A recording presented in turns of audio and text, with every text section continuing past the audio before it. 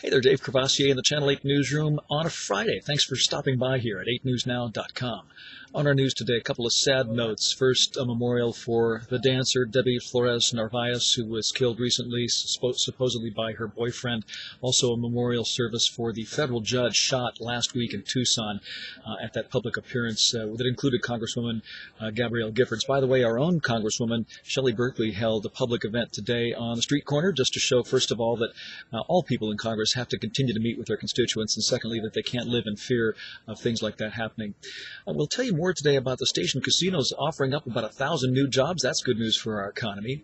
The most feared sports bettor of all time, Billy Walters. 60 Minutes has been after him for 20 years, and he's finally agreed to appear this weekend. That's on CBS, but not before he talked to our own I-Team senior reporter, George Knapp, about why he's appearing uh, on 60 Minutes, and it's good for Las Vegas. Also, Pope John Paul II, a little bit closer to sainthood now. We'll tell you more about that and other stories coming up on our news between 4 and 6.30. See you then.